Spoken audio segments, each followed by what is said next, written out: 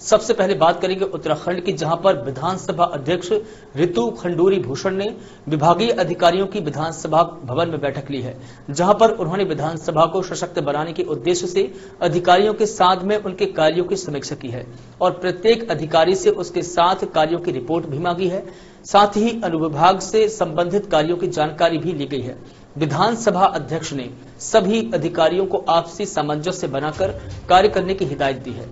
विधानसभा अध्यक्ष रितु खंडूरी ने कहा कि वह राजनीति से ऊपर उठकर उत्तराखंड के लिए सेवा करना चाहती हैं।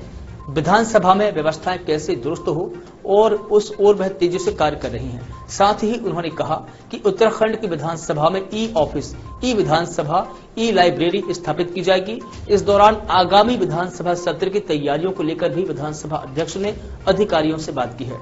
देहरादून से अवनीश गुप्ता की रिपोर्ट।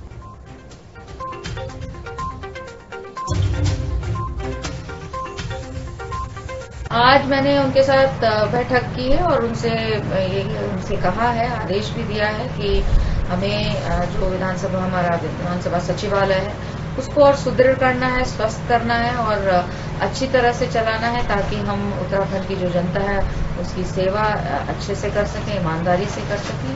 आ, क्या उनका सभी 100 जो जितने मेरे अफसर थे उनसे बैठकर बैठ उनकी भी बात सुनी अपनी भी बात उनसे कही।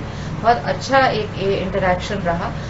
जहाँ किस तरह से आगे अब हम कामों को करेंगे और कामों को और अच्छा करेंगे इस पर हम लोगों ने बातचीत की आज।